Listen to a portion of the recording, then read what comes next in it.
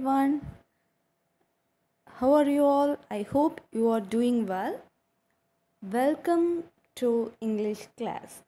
So, today we will be doing poem, okay? The wonderful words written by Mary O'Neill. So, before starting this poem, I ask you a few questions.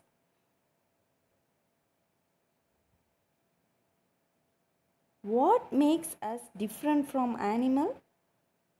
Yes, there are so many things that makes different from animal. The way we talk, the way we sit, the way we eat, and above all the way we use words. Our ability to use language to talk to other people that is what make us different from animal. Can you imagine a world without language? Can you imagine what will happen if there will be no language? If there will be no words to express your feelings? Your thoughts, your emotion, or your ideas? Yes, we can't even imagine about this, okay? Because human world revolves around language. Words are the medium of communication. These are the mode of expression. So, this poem, The Wonderful Words, is actually a wonderful poem, okay, written by Mary O'Neill, in which she expressed the importance of words, the importance of language. So, I hope you will enjoy this poem and you will learn a lot from this poem as well. So, let's get started first of all. Okay, First, I will read the poem and then I will explain each stanza. Okay, so listen carefully, dears. Never let a thought shrivel and die for want of a way to say it. For English is a wonderful game and all of you can play it. All that you do is match the words to the brightest thoughts in your head so that they come out clear and true, and handsomely groomed and fit. For many of the loveliest things have never yet been said. Words are the food and dress of thought, they give it its body and swing. And everyone's longing today to hear some fresh and beautiful thing. But only words can free a thought from its prison behind your eyes. Maybe your mind is holding now a marvelous new surprise. So, the poetess has started this poem with a very beautiful line. Never let a thought shrivel and die for want of a way to say it. Yes, it means sometimes we have a thought, we have an idea in our mind, but we are not able to express that idea. We are not able to share that idea only because we don't have words to say that. Right? Does it happen to you? Yes, it happens with everyone. Sometimes we have thought or an idea, but we don't share with other people only. Yes? Because we feel that it's not the right idea or you don't have the right words to express your thought or idea. Don't it happen in the classroom? Whenever teacher is teaching in the class, you feel that discussing something with your teacher. But then stop yourself only because you feel that your teacher will not like it or you don't have words to express your thoughts. That shouldn't happen the poetess is saying that you should not thought or idea in your mind kept in your mind because you don't have words to speak. English is a wonderful game. A wonderful game here means what is that? Wonderful language okay? Wonderful language. It's a marvelous language and all of you can play it. all of us can use this language to express our feelings, our emotions, our thoughts, our ideas. All right. Not only English, every language is beautiful. And what makes the language beautiful? The words make that language beautiful. And one should know the art of using those words. Okay. How to use words and when to speak. Okay. It's an art. And next line.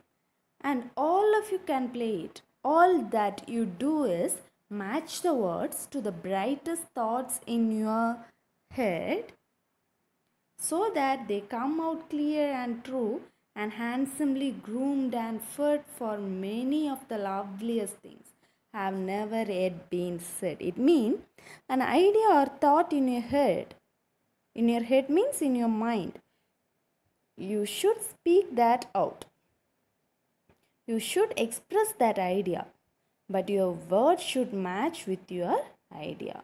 Whatever you think, you should speak that it shouldn't be like you are thinking something else and you are speaking something else.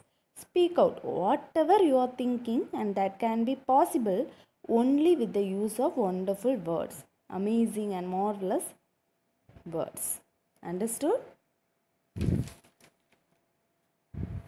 And also, twice before speaking, you should groom your words, that is, and handsomely groomed and fed. You should make your words ready before speaking because once they are said, they can only be forgiven, not forgotten. Means the words you write or speak to other can leave a huge impact and create a lasting memory, either good or bad.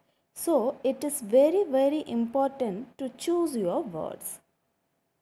Wisely, words can make or break a relationship.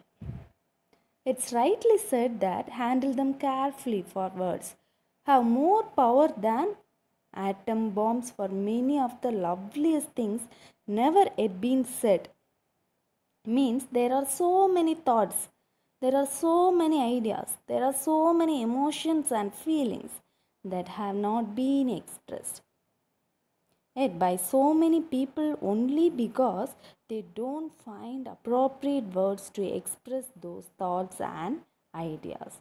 So, one should know the art of using wonderful words.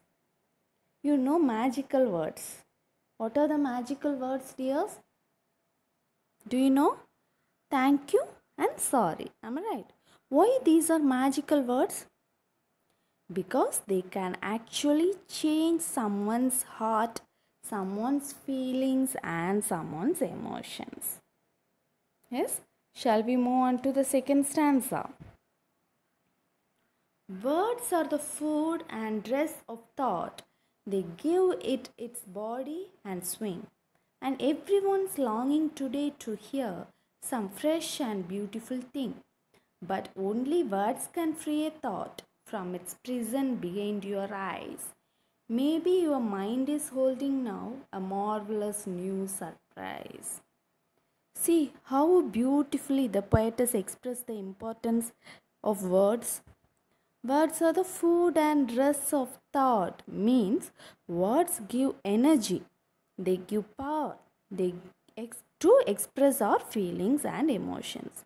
When you have right words to express your emotion, you feel good. Words are also the dress of thought, means appropriately chosen words are liked by everyone. Okay, so that's why poetess is saying that you must choose the word carefully so that it should not hurt anyone's feelings and emotion. Words gives our thought, our idea, its body. Its body here means words provide the base to our thought. What we want to say, what we want to express, we express it only with the help of words. If those words are chosen appropriately, if those words are actually the wonderful words, everyone will feel good. Everyone will love to listen to you. and besides providing base to our thoughts. Words also help to move our thought to out of the mind. Everyone is curious to hear something new and free. Our thought and our ideas are imprisoned in our eyes.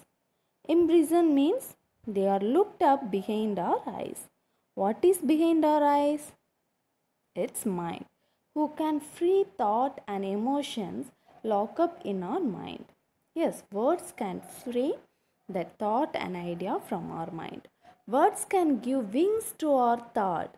The poetess is encouraging every reader to express their feelings and emotions and thoughts and ideas through wonderful surprise. So, you should express that idea, that thought, and that can only be expressed through words. Okay, dears? So, you should know the art of using words. This is all about poem. I hope you all enjoyed. Please keep reading this poem. Okay, dears, if you have any doubts, please ask me. I will clarify. Okay, dears. Thank you. Have a nice day.